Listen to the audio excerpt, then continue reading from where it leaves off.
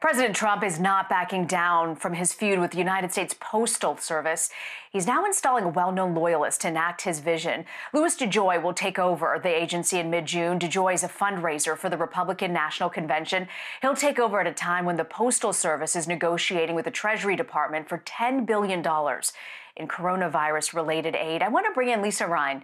She covers federal agencies and the Trump administration for the Washington Post. So, Lisa, what changes does the president want to make in the post office? And, and why is DeJoy his pick to act out this plan? Hi, Rena. Well, the Postal Service uh, said that the Board of Governors did an extensive search to replace the outgoing Postmaster General Megan Brennan, who had come up through the ranks.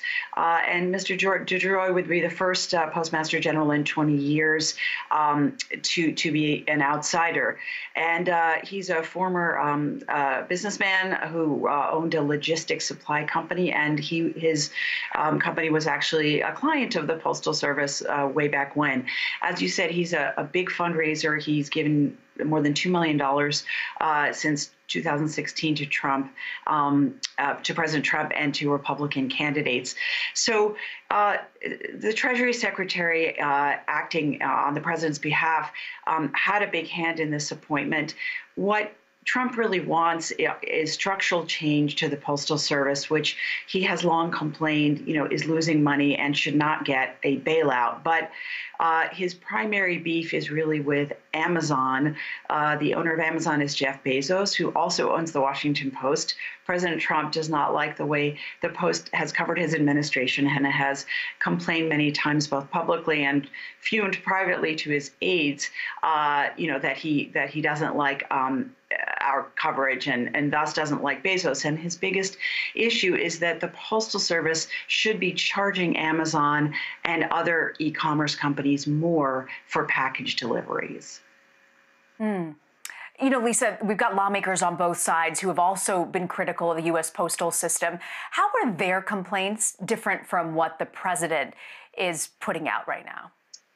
So you have Democrats who actually um, are kind of using this moment of the pandemic uh, where the Postal Service, uh, by the way, I should say, you know, says it has lost, um, you know, a third of the volume um, uh, of, uh, of you know deliveries that it, it had beforehand. And for years the postal service has been struggling financially to kind of embrace the digital age as people are just mailing so many fewer um, fewer letters and cards. Uh, package delivery has really been a bright spot. So in congress what you've had is a real reluctance to take this issue on because uh, you know you have rural republicans who represent areas uh, you know where constituents who really rely on the postal service for you know deliveries of packages, prescriptions, and you've got Democrats who are um, who have generous donations, you know, campaign donations from postal unions, and this is a very, very strong uh, union workforce.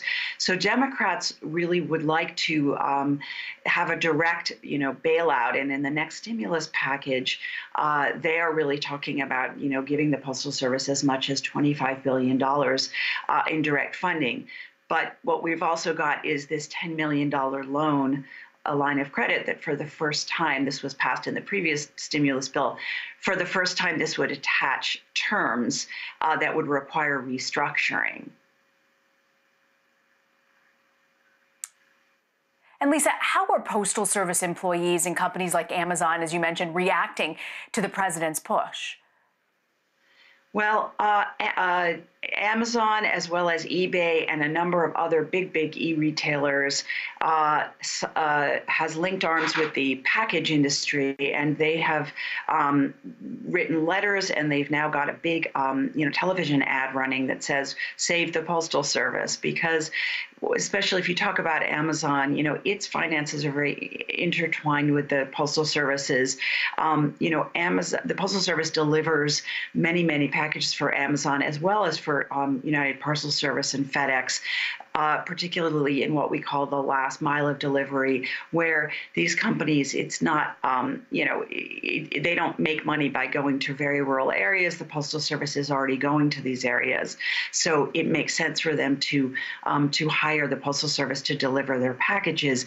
You asked about the employees. Well, Um, the unions, uh, you know, I think are suspicious of Mr. DeJoy just because they they realize that he's being installed to make structural changes that really could involve um, involve cuts to the labor force. Um, but you know, this is a very strong union workforce, so it, it's really it would not be easy to just break the unions. Um, so we'll really we'll really have to see see what happens and what um, what inroads the Treasury Department um, on behalf of President Trump can make in restructuring. All right, we'll be watching a service that affects so many people across this country. Lisa Rein, thank you very much with the Washington Post. Thank you for having me.